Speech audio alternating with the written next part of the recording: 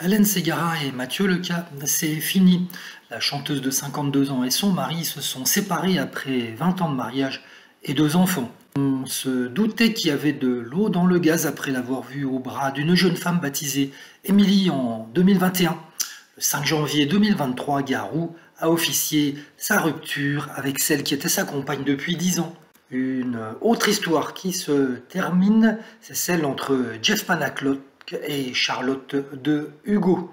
Le 7 janvier 2023, dans l'émission Un dimanche à la campagne, Jeff Panaclock a confié en larmes s'être séparé de sa femme et mère de ses deux filles. Clap de fin également pour Valérie Trier-Veller et Romain Magellan le 3 février 2023 dans Les Grosses Têtes. L'ex-première dame a annoncé être de nouveau célibataire après 5 ans d'amour. Rupture surprise pour Michel Larocque et François Barouin. La comédienne et le maire de Troyes ont mis fin à leur relation après 15 ans d'amour.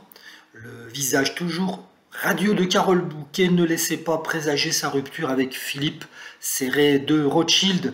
L'actrice de 65 ans a mis fin à sa relation avec le financier de 60 ans après 11 ans d'amour. Éric Antoine, il ne joue plus de sa magie avec Calista Sinclair, le célèbre magicien, a officialisé sa séparation avec sa femme et mère de ses enfants.